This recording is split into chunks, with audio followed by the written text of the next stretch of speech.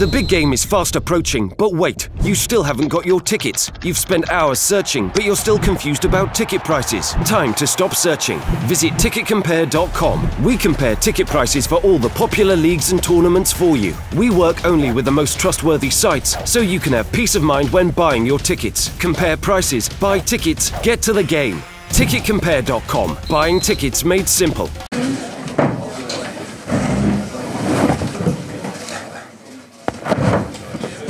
Hi, everybody. Welcome to the press conference to preview the game tomorrow. If you'd like to put your hand up and we'll come to you to ask a question, we have Chris Smalling available. Hi, Chris. We- We've asked both managers about it. You've had a look at the pitch. Uh, I mean, it doesn't look great. Their manager said it probably looks worse than it is. What were your thoughts on it? Yeah, I think obviously we've not trained here, so we won't really get a proper feel until the game starts tomorrow. But I think we saw the pitch. You can see it's been relayed, and, and it looks looks very good. And hopefully it holds up throughout the for the whole game, and everyone gets an entertaining game.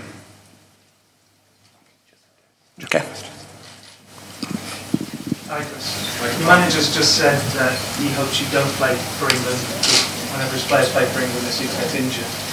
We've not heard from you since you were left out of the England squad and Gareth said what he said. Given that you've been part of such a, a really effective defensive season, really key to that, what are your thoughts on, what? Um, look, was I surprised? Yes, I was. But I think I don't think you don't play for one of the biggest clubs in the world for as long as I have, and probably won most trophies, bar probably the Champions League, without being able to do everything that a top defender that can do, be it playing or defending. And I think the fact that this year, I think as a team, we've got one of the best defensive records, and, and we have done for the last few years, and I'm very proud of to be a part of that.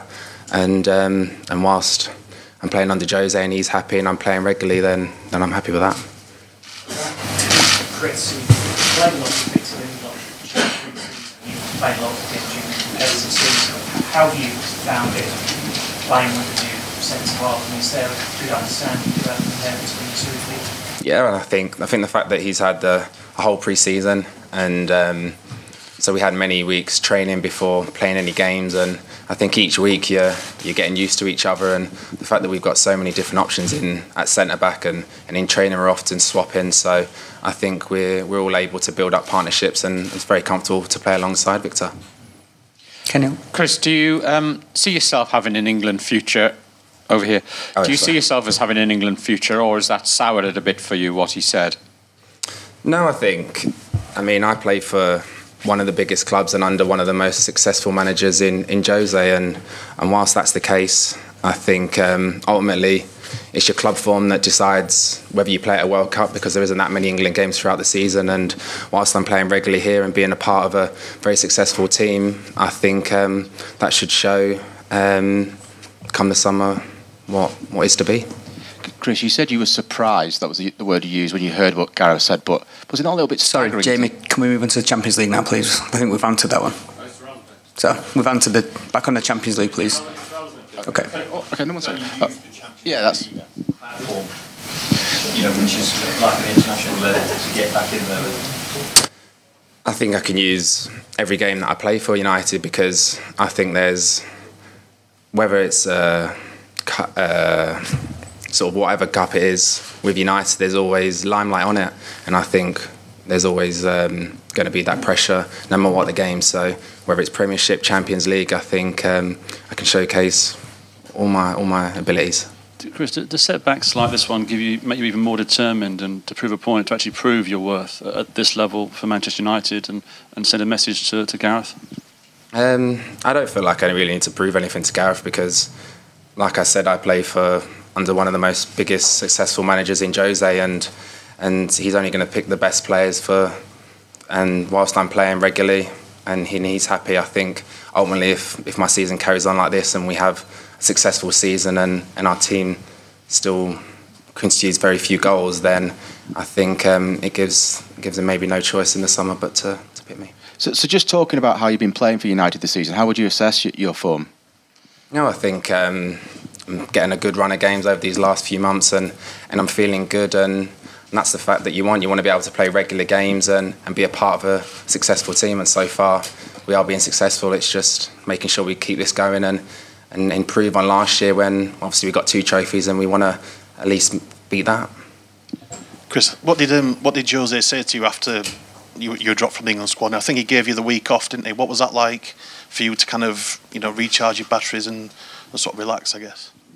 Yeah, I think it's the first time that, that I've had a break, but I used it to my benefit because that was that was what was put in front of me, and um, enabled me to, to have a little break and then have a four weeks training um, leading up to, to the Newcastle game, and um, I got my goal, so it paid off. What's he like, Chris, as, as a defender? What's he like to work with? Because he's, he's widely regarded as one of sort of best in sort of businessman defensive sort of Mm. whole unit.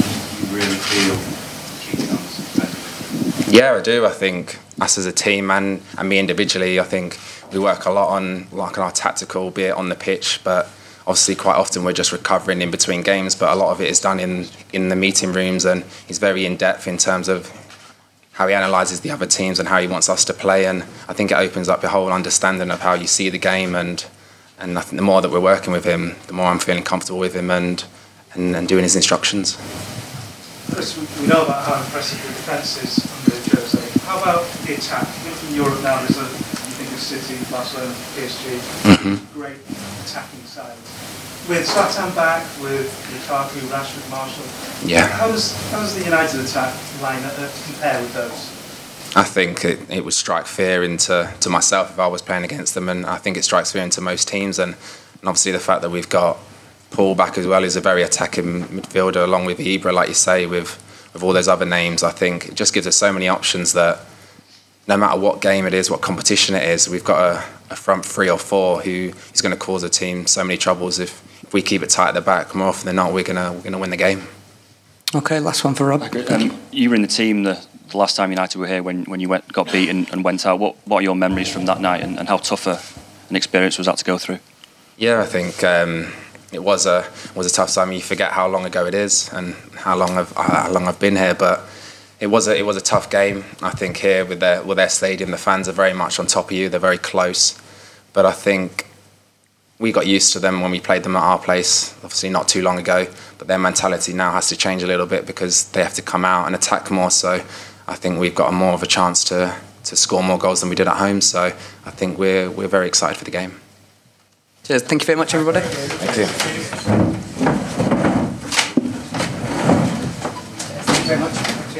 Thank you very much. Cheers.